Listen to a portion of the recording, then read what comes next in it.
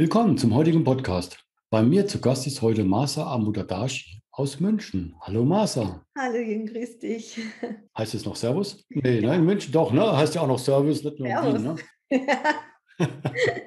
Schön, dass du heute da bist. Und ich würde auch gleich mal direkt für die Zuhörer und Zuschauer anfangen mit ein bisschen Hintergrund zu dir. Ja. Wo kommst du her? Gut, natürlich jetzt lebst du in München, aber angefangen hast du eigentlich mit einer Karriere im Hotelfach als Hotelfachfrau bist du eingestiegen im Schindlerhof in Nürnberg. Du hast da wahrscheinlich dann alle Stationen durchlaufen dürfen, die man so im Hotel auch lernen darf. Ne? Mhm, genau. Ja, das Thema, warum ich dich auch eingeladen habe, war ja, oder auf dich aufmerksam geworden bin, war ja der Hinweis, dass du so eine ganz interessante Rolle dort hast auf einmal, nämlich Herzlichkeitsbeauftragte. Also ich kenne viel Gutmanager und in die Richtung, aber eine Herzlichkeitsbeauftragte hatte ich noch nie gehört. Was ist das und wie ist das passiert? Wie wird man das? Interessant, oder? Mhm.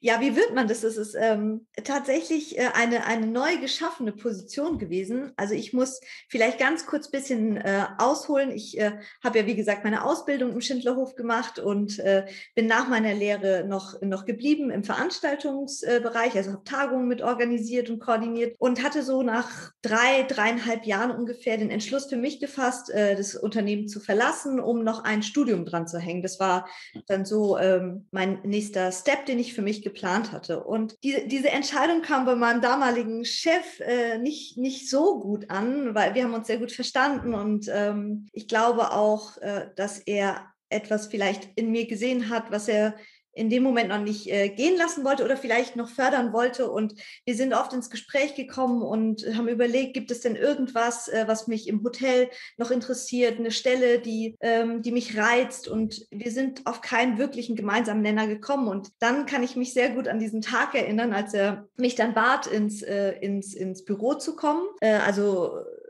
wirklich einen Termin festgelegt hat. Also eine Assistentin hat dann einen Termin festgelegt und bat mich dann äh, an dem und dem Tag um so viel Uhr, äh, um die Uhrzeit dann ins Büro zu kommen. Und ich wurde empfangen von der Unternehmerfamilie. Und an diesem Tag haben sie mir dann äh, diese Position vorgestellt und sie haben mich gefragt, willst du unsere Herzlichkeitsbeauftragte werden? Und ich kann dir sagen, ich bin, ähm, ich war sehr irritiert, weil ich noch nie etwas davon gehört habe und ich auch nicht wusste, was, was sie von mir wirklich wollen. Ich dachte, im ersten Moment dachte ich, jetzt drehen die komplett durch. Äh, und, äh, und, dann, äh, und dann hat aber eben Klaus erzählt, äh, du, ich möchte jemanden, der hier, der hier dafür sorgt, äh, dass zum einen äh, die Kunden immer wieder begeistert sind, dass wir Kundenbindung stärken, aber auch, dass wir, dass wir das Thema Mitarbeiterbegeisterung noch intensiver angehen. Der Schindlerhof war ja bis dahin schon wirklich in der Top-Top, was diese Themen anging, aber das weiter weiterzuentwickeln. Und ich muss sagen, das hat mich sehr gereizt und, äh, und deswegen hatte ich äh, zugestimmt damals und bin geblieben. Und ich fand es toll, auch so eine Position von der Pike auf mitgestalten zu dürfen. Also so, jetzt gibt es diesen Titel und jetzt darfst du dich hinsetzen und äh, überlegen, welche Aufgaben fallen hier rein und was möchte ich machen und was möchte ich, ähm, was mö möchte ich weiterentwickeln. Also das hat, fand ich schon toll. Und was so im Nachhinein, was ich bewundernswert finde, ist, dass es da einen Unternehmer gibt, der sich wirklich, der, der einfach noch, noch einen Schritt weiter geht, zu sagen, hey, da ist ein Mensch, der hat vielleicht ein gewisses Potenzial und ich möchte den nicht gehen lassen. Und aber es gibt aber keine Stelle, die dieses Potenzial irgendwie ähm, ja noch noch noch entfachen kann. Und deswegen deswegen entwickle ich einfach eine Position. Mhm. Ja, und das, das finde ich, muss ich sagen, wirklich äh, immer noch bis heute abgefahren. Anders kann ich es nicht sagen. Und mutig und so mutig. Ja. Ja, toll, ne, von der Wertschätzung. Ja, Am Anfang total. wahrscheinlich der Schock, die Geschäftsleitung will mich sprechen, ne? und dann kommt so eine ja, Überraschung. Total. Begeistert ist man nicht, wenn man einen Termin bekommt, dass, äh, dass der Chef einen im Büro sprechen möchte. Aber ähm, ja, so kam es dann. Und tatsächlich war äh, dieser Beruf der Herzlichkeitsbeauftragten, äh, das war so so innovativ, so neu. Da gab es noch den Feel Good Manager nicht, da gab es noch nichts in die Richtung. Und äh, das hat was äh, angezettelt. Also ich weiß, dass ich damals äh, äh, ein, ein, ein, Interview mit dem Spiegel hatte und dann mit dem Stern und mit RTL und ich weiß nicht, also da war so viel Presse auch und, ähm, und es hat dann etwas ins Rollen gebracht und dann kam immer mehr nach und nach, habe ich hier gehört, wie gesagt, Feel Good Manager, da was vom Corporate Happiness Beauftragten, also dann, dann hat es äh, auch irgendwas ins, ins Rollen gebracht tatsächlich und das fand ich schön. Aber du hast ja was anderes gemacht als Äpfel auf den Tisch gelegt. Das war ehrlich gesagt äh, in meiner Hauptaufgabe überhaupt nicht äh, äh, vertreten. Ich weiß, ich habe mir jetzt mehr wirklich intensiv auch schon mal so, so, man kann sich ja zum Feel Good Manager ausbilden lassen und habe auch schon mit mehreren gesprochen. Also da geht es sehr viel um diese ja, Rituale der Wertschätzung in Form von materiellen Dingen und, und ich hatte es mir wirklich eher zur Aufgabe gemacht, immer wieder zu schauen, hey, wir müssen hier Wertschätzung muss gelebt werden. Ich muss schauen, äh, dass die Feedback-Kultur gelebt wird, Verbundenheit, Zugehörigkeit. Also das waren so meine Themen, die ich angehen wollte und da mir Wege zu überlegen, okay, wie, wie machen wir das? Wir müssen immer in der Kommunikation bleiben, weil nur wenn wir kommunizieren, können wir schauen, wo sind Bedürfnisse, die nicht erfüllt sind, wo können wir was tun, also regelmäßige Qualitätszirkel einzurufen. Das heißt, dass wir wieder regelmäßig zusammenkommen, schauen, wie ist die Stimmung, wenn sie nicht gut ist, warum nicht und dann dagegen was tun. Und das waren eher, ich, ich, ich glaube, das sind die wichtigen Werkzeuge. Und ich will gar nicht, ähm, ich will es gar nicht bewerten. Ich glaube, so ein Obstkorb, darüber freut man sich auch und es ist auch schön. Und auch das äh, gab schon Dinge, die ich auch getan habe in die Richtung wie mich um Geburtstagsgeschenke zu kümmern, ähm, um Urlaubsgeschenke zu kümmern. Also ich habe tatsächlich auch geschaut, wo fährt derjenige hin oder diejenige und habe dann versucht, das passende Urlaubsgeschenk, die passende Urlaubslektüre zu besorgen. Also auch sehr individuell, weil ich glaube, sobald wir merken, oh, da hat sich jemand wirklich Gedanken gemacht und da ist nicht einfach pauschal für jeden irgendwie was bestellt worden zum Geburtstag, dann hat es auch nochmal eine andere Wirkung. Dann ist es eine ernst gemeinte Wertschätzung. Absolut, absolut. Und ich finde, jetzt springe ich von einem Thema zum nächsten, aber ich finde, wir machen uns ja so viel, ähm, so viele Gedanken zum Beispiel, wie wir unsere Kunden begeistern und äh, Kundenbindung stärken. Und ich habe mir irgendwann gedacht, Mensch, mindestens genauso viel Energie müssten wir auch in das Thema Mitarbeiterbegeisterung stecken und, und, äh, und da, wie gesagt, dieses äh, alles ein bisschen individueller zu gestalten, äh, empfand ich als sehr wertvoll. Und da habe ich auch, so wie, wie man eine Kundendatenbank hat, habe ich für mich eine kleine Mitarbeiterdatenbank äh, erstellt, also eine Liste, in der ich wirklich ähm, eingetragen habe, welche Vorlieben haben meine Kolleginnen und Kollegen, also äh, wo reisen sie gerne hin, welche Bücher lesen sie, welche Musik hören sie? Und äh, habe mir dann irgendwann selber so ein Pool zusammengestellt an Informationen und konnte dann immer schauen, okay, dann und dann hat äh, die oder der Geburtstag und schau mal hier, da gibt es das neue Album vom Lieblingsinterpreten, das gibt es dann zum Geburtstag. Ich meine, diese Aktivitäten, Qualitätszirkel sind ja auch anstrengend. Ne? Da geht es ja um die Reflexion, da geht es um ehrliches Feedback. Das ist jetzt nicht einfach immer nur, wir haben uns alle lieb. Nein, so, so, so, sonst kommen wir ja nicht weiter. Ja, also wir wollen uns ja auch stetig weiterentwickeln. Wir wollen ja auch daran arbeiten, dass, dass, dass es harmonisch bleibt, dass wir Spaß haben, dass wir, genau, dass wir, dass, dass, dass diese, die, die, dieser Teamgeist auch bestehen bleibt. Und da bringt es nichts, nur über, über die Dinge zu sprechen, die gut laufen und die wir gut finden. Und äh, deswegen, äh, es war, äh, gab ein, ein, ein, ja, ein Tool, so nenne ich es jetzt einfach mal, Ganz, ganz simpel. Das habe ich auch nicht ins Leben gerufen. Das, die Qualitätszirkel gab es auch vor, vor der Herzlichkeitsbeauftragten. Und zwar das Stimmungsbarometer. Da konnte, haben wir als, das war der erste Step bei so einem Qualitätszirkel, dass wirklich jeder anonym ähm, seinen Klebepunkt auf dieses Stimmungsbarometer kleben durfte ähm, damit wir erstmal einen Überblick davon äh, bekommen, wie ist denn die Stimmung eigentlich momentan. Und, äh, und dass das auch jeder ehrlich wirklich ähm, zuordnen kann. Und deswegen auch anonym finde ich auch äh, wichtig und dass wir dann darüber sprechen können, ganz offen, warum. Schönes Tool, nutze ich auch gerne in meinem Ja, gell? So simpel, so simpel, aber so äh, effektiv. Hilft halt auch nur, wenn die Teilnehmer danach offen sind, drüber zu sprechen und dass man dann auch was ableiten und ändern kann. Ne? Und dann gehört auch wieder die Bereitschaft dazu, auch was zu ändern. Das finde ich aber das Schöne von der Haltung bei euch im Unternehmen, dass es geschaffen wurde, ähm, diese Möglichkeit zu geben. Ne? Ich beziehe mich jetzt mal auf Bodo Janssen, der ja auch schon bei mir Gast war, der das ja bei Upstalsboom auch so macht. Der sagt, ich presse nicht die Mitarbeiter in der Stelle, sondern ich gestalte die Stelle um das Talent meiner Mitarbeiter, so wie du es jetzt auch erlebt hast. Und das macht ja was mit einem. Ne? Da, was ich so als Feedback von dir gehört habe, ist ja immer, du strahlst halt auch jeden so an von der Herzlichkeit und daher war das ja ein eins zu eins Match auch für deine Rolle. Ja, also ja, das war, äh, das war für mich, da musste ich keine Sekunde drüber nachdenken, ob ich, ob ich diese, diese, diese Aufgabe annehmen möchte oder nicht, weil das war schon von der Begrifflichkeit so so, dass es mich angesprochen hat und ich das unbedingt machen wollte. Gut, da hatte ich ja dann ja fünf Jahre erfolgreich im Unternehmen gehalten, mit bis zur Assistenz der Geschäftsleitung. Genau. Und genau. dann kam dann trotzdem das Studium. Oder hast du es parallel dann noch so ein bisschen weitergemacht? Nein, das, ich habe mich dann tatsächlich, es waren sogar, äh, wenn ich mich nicht irre, knapp sechs Jahre sogar, das, dann habe ich mich schweren Herzens, ähm, wirklich schweren Herzens auch äh, vom Unternehmen getrennt, wobei wir, ähm, also ich immer noch äh, bis heute so verbunden bin mit dem Schindlerhof und äh, sehr dankbar, also eine ganz tiefe Dankbarkeit auch verspüre, weil ich heute nicht das, auch nicht das machen würde, wenn äh, wenn es den Schindlerhof nicht geben würde und wenn es äh, den Klaus nicht geben würde, der überhaupt diese, diese Berufung ins Leben gerufen hat, weil erst dadurch, ja, kam ich ja schon so ein bisschen in Berührung mit meinem heutigen Job, also dass ich Vorträge halten darf, weil damals wurde das Interesse so arg, ja, äh, so stark, äh, dass das Unternehmen dann angerufen haben und gefragt haben, könntest du einen Vortrag halten und uns erzählen, was du da machst und wie du es machst? Und Genau, also wir sind immer noch sehr verbunden, aber ich äh, hatte ein sehr starkes Bedürfnis danach, äh, mir noch ein, ein theoretisches Fundament aufzubauen. Und deswegen kam das äh, Studium und äh, das Studium der Wirtschaftspsychologie und äh,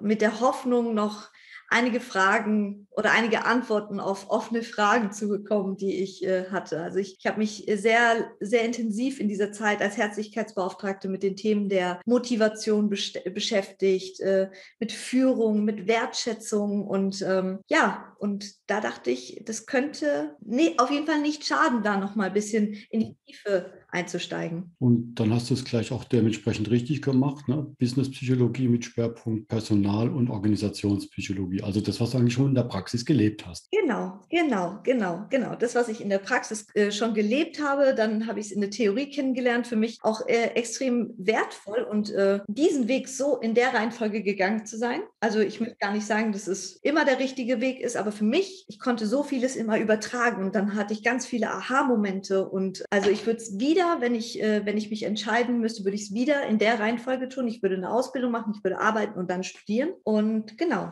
Und parallel habe ich zum Studium angefangen, bei Communico zu arbeiten. Genau, den äh, René, meinen heutigen Chef, René Bourbonus, den habe ich dann im Schindlerhof schon in meinem ersten Ausbildungsjahr kennengelernt. Ist ja einer, äh, für mich einer der besten Rhetoriker, Rhetoriktrainer, äh, die, die wir haben. Und mhm. ähm, genau, als Rhetoriktrainer habe ich ihn kennengelernt äh, im ersten Ausbildungsjahr. Wir haben uns sofort gut verstanden. Er hat mich irgendwann in seine Trainings eingeladen auch. Äh, und ja, und so kamen wir dann auch zusammen. Als er mitbekam, dass ich den Schindlerhof verlassen werde, kam relativ schnell auch äh, der Anruf, ob ich denn nicht parallel Vorträge halten möchte neben dem Studium. Das bist ja schon fast ein alter Hase bei Ihnen, ne? mit knapp acht Jahren, wenn ich es richtig gesehen ja, habe, schon bei Community. Es ist wahr, die Zeit rennt, es ist Wahnsinn, ja. Aber auch, ja, ja, ganz, muss sagen, ich bin sehr dankbar, weil ich äh, einfach, ich habe bislang in zwei Unternehmen arbeiten dürfen, die wirklich, es immer, ich, ich immer das Gefühl hatte, hier wird, äh, hier wird erkannt, was ich kann, meine Stärken werden gestärkt, ich werde gefördert und es war im Schindlerhof so und es ist auch bei Community Mexiko so und deswegen äh, weiß ich mich sehr glücklich schätzen, ja. Und diese Stärkenstärken ist ja nicht so, dass es eine Massagebank ist, sondern das heißt ja trotzdem raus aus der Komfortzone und was Richtiges machen. Ne? Äh, absolut, absolut. Und du, du, du hast es gerade genannt, äh, raus aus der Komfortzone. Das war so ein, ein ausschlaggebender Grund äh, für mich, warum ich den Schindlauf verlassen habe. So nach knapp sechs Jahren dachte ich, ich bin hier so zu Hause. Ich bin, ich bin so in meiner Komfortzone. Ich, und ich dachte, es, es ist und ich, ich dachte, ich muss diese Komfortzone verlassen, um noch wachsen zu können, um noch mehr erreichen zu können. Und, äh, und da bin ich auch überzeugt äh, von, dass nur wenn wir regelmäßig unsere Komfortzone verlassen, auch unser Potenzial weiter entfalten können. Ja. Und das hast du alles so mitgemacht und gleichzeitig ein Kind großgezogen. Du hast ja schon, hast ja schon einen kleinen Hupser. Ja, also äh, ja, gleichzeitig, ich habe das, äh, das Studium schon beendet, dann habe ich dann ein paar Jahre ohne Kind gearbeitet, aber tatsächlich dann jetzt einen Zweijährigen habe ich, der wird morgen zwei. Aber der musste schon sehr früh auch äh, äh mich mit unterstützen. Also ich habe äh, nach, nach der Geburt vom Ferdi, glaube ich, nach zwei Monaten den ersten Vortrag schon gehabt und hatte das aber alles schon so organisiert mit Oma und Schwester und Mann und jeder musste da mal mit anpacken und mit, äh, mitreisen. Und so äh, sind wir dann immer mit dem Kleinen durch Deutschland, Österreich, die Schweiz getourt und, ähm, und der hat es echt gut mitgemacht. Also mal, mal mehr, mal weniger. Aber ja, und so konnte ich, so konnte ich das beides vereinen. Ist halt manchmal ein logistischer Aufwand. Ne? Ein logistischer Aufwand, vor allem wenn man das erste Mal dann unterwegs ist und merkt, Mist, ich komme ja mit meinem Kinderwagen gar nicht, gar nicht im Zug äh, durch, die, durch, die, durch die Waggons. Und dann, äh, ja, aber mit, mit jedem Mal wurde ich äh, besser und besser, also habe ich mich besser organisieren können. Und das heißt, der Kinderwagen hat jetzt schon die Flipchart-Halter hinten dran, dass du es dann noch montieren kannst statt Regenschirm. Ne? genau. Stelle ich mir gut vor. Gerade so, vielleicht ein bisschen so easy und da habe ich den Kleinen einfach mitgenommen. Also, wenn ich jetzt zurückblicke, hatten wir schon ganz viele Stress, stressige Momente, natürlich auch mit Zugausfällen und dann Anschlusszug verpassen. Dann hast du dann schreiendes Säu äh, Baby und, und dann nehmen dich die Taxifahrer nicht mit, weil du vielleicht diesmal die Babyschale nicht dabei hast. Und also, es war nicht ohne, aber mir war es wichtig, beides irgendwie unter einen Hut zu bekommen. Wenn du so jetzt da rumreist und du kommst ja sogar noch aus einer anderen Kultur, gibt es da ein paar Highlights, wo du sagst, boah, das waren jetzt Situationen bei den Vorträgen oder bei den Events, es geht ja auch um Menschen, weil wenn du Organisationspsychologie magst, also da wirst du ja auch ein Unternehmen ein paar schöne Bretter bohren dürfen und bewegen müssen. Gibt es ein paar Erlebnisse, wo du sagst, boah, das hat mich beeindruckt und du darfst drüber reden? Nein, ich, äh, ich, es, gibt, es gibt zig äh, Geschichten, die beeindrucken. Und es müssen nicht äh, nur Geschichten sein, die wirklich in den Unternehmen passieren. Ich finde, so vieles passiert, ähm, so vieles passiert so im Alltag, auf meinen Zugfahrten, in den Hotels. Also, ich meine, ich bin ja ständig, äh, gut, leider die letzte, in letzter Zeit nicht so, so viel, aber vor der Pandemie ständig in, in, in der Begegnung mit Menschen. Und äh, da schöpfe ich auch die Geschichten für meine, für meine Vorträge. Das sage ich also aus, aus diesen Alltagsgeschichten. Aber ja, ich habe tolle Unternehmen schon äh, auch begleiten, ist nicht das richtige Wort, weil ich keine Beraterin bin, aber in vielen Unternehmen sein dürfen, die, die schon viel leisten und tolle, tolle Dinge tun für ihre Mitarbeiter. Also ich kann ja mal auch ein Beispiel, ich bin, ich bin schon baff manchmal, wenn ich sehe, wie viel Zeit sich auch wirklich Unternehmen nehmen, ganz bewusst nehmen, um sich mit den Themen der Wertschätzung auseinanderzusetzen, beispielsweise. Und ich hatte einen äh, tollen Workshop für die Stadt Zürich gehabt und äh, für die Führungskräfte der Stadt Zürich. Und, und dann haben sie mir gezeigt, was sie schon machen und wie intensiv sie sich mit dem Thema der Wertschätzung auseinandersetzen. Und dann hatten sie Führungskarten entwickelt. Und es war wirklich ein Ritual, dass sich jede Führungskraft jeden Morgen, bevor äh, bevor der Alltag beginnt, der Berufsalltag, zehn Minuten, fünf bis zehn Minuten eine, äh, eine Führungskarte nimmt und die gemeinsam mit einem Mitarbeiter reflektiert. Ja? Also äh, der, der, der, der Mitarbeiter zieht eine Karte, die Führungskraft zieht eine Karte und, und, dann, und, dann, und dann beantwortet man äh, die, diese Reflexionskarte gegenseitig. Und allein schon solche Rituale einzuführen, finde ich so großartig und so, das zeigt mir, dass dass, es, dass dieses Unternehmen die Wichtigkeit dieser Themen einfach erkannt hat. Und ich habe ich hab ja so oft, wenn ich Trainings äh, habe oder wenn ich dann in Unternehmen bin, so oft höre ich das Argument, ja, das ist ja schön und gut, was Sie sagen, aber ich habe keine Zeit dafür. Und, und ich, und ich denke mir immer, nein, das, das glaube ich nicht, weil sie, wir nehmen uns die Zeit für die Dinge, die uns wichtig sind. Das heißt, wenn jemand sagt, ich habe keine Zeit dafür, dann sagt, heißt das für mich, das Thema hat keine Wichtigkeit für dich. Weil wenn du Raucher bist, dann nimmst du dir auch deine Zeit für deine fünf Zigaretten am Tag, ja, weil, weil dir deine Zigarette wichtig ist, ja. Und so ist es mit all den Dingen. Und deswegen fand ich das so schön, diese fünf bis zehn Minuten zu ritualisieren um, um auch diese Themen nicht in Vergessenheit geraten zu lassen, weil das ist ja oft das Problem. Ich gebe Impulse, ich bin meistens 60 Minuten, 90 Minuten irgendwo, gebe meine Impulse und dann liegt es am Unternehmen, an den Menschen, diese Dinge umzusetzen und dran zu bleiben. Und ich glaube, das ist, das ist die große Aufgabe, die große Herausforderung. Und genau mit solchen Ritualen schaffen wir es, dran zu bleiben. Es braucht auch eine Zeit, eine Gewohnheit zu durchsprechen und eine neue reinzufinden. Absolut. Und wie du sagst, ne, das ist teilweise erschreckend. Das sind manchmal zwei Minuten, fünf Minuten.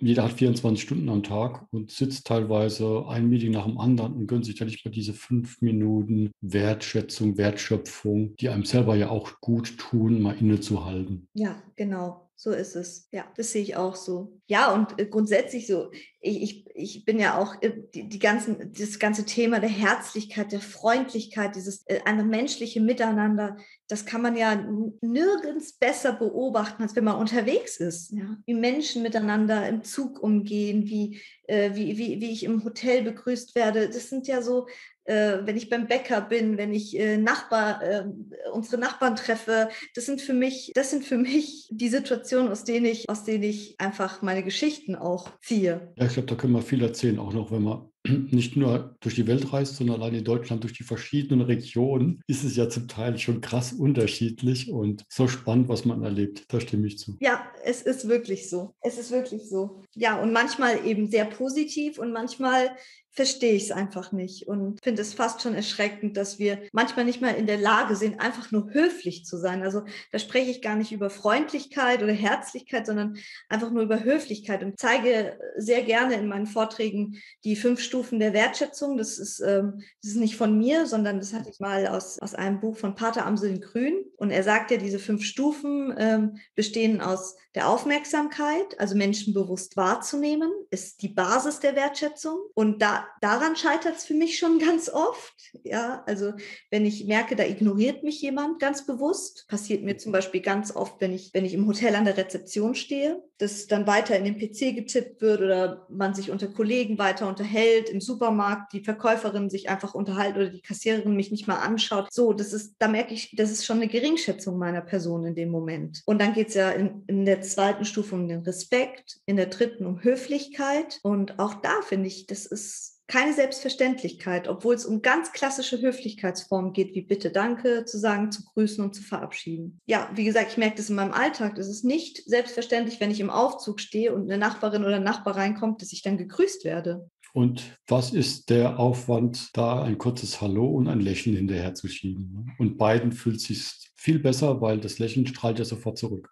Ja. Das ist ja das schöne, das schöne Phänomen. Ne? Das, das, das sehe ich auch so. Ganz, ganz fatal finde ich es, wenn Sie, wenn Sie mit Kindern mit einsteigen, also dazusteigen. Also wenn, wenn dann das kleine Kind mit dabei ist, weil ich mir in dem Moment denke, Mensch, du bist gerade Vorbild für dein Kind. Ja, und ganz oft versuchen wir krampfhaft dann zu Hause den Kindern beizubringen, man sagt Hallo, man sagt oder man grüßt und man, man sagt Danke und Bitte, aber es ist nicht viel, viel einfacher, wenn wir es einfach vorleben. Also ich habe meinem Zweijährigen noch nie gesagt, dass er da äh, Danke sagen muss oder wenn, wenn, wenn, wenn, wenn ich Gesundheit äh, oder wenn ich niese, mein Mann Gesundheit sagt, dass man dann Danke sagt. Das haben wir ihm noch nie beigebracht. So, und das macht er. Das macht er jetzt mit zwei Jahren, weil er das einfach von uns mitbekommt, so nebenbei. Und ich glaube, es ist doch das Einfachste, wenn wir, wenn wir, wenn wir das vorleben. Finde ich ein absolut schönes Schlusswort, einfach zu sagen, Leute, lebt doch einfach etwas vor, gönnt euch selbst etwas mehr Freude im Leben, weil die kommt einfach dadurch, dass ich sie verschenke und sie kommt doppelt zurück. Wunderschönes Schlusswort. So ist es auch. Ja, das ist ansteckend. Freundlichkeit ist ansteckend. Liebe Masa, vielen herzlichen Dank, dass du heute die Zeit für mich hattest. Hat mir sehr viel Spaß gemacht. Ich glaube, ich habe sehr viel am Stück geredet, gell, Jürgen?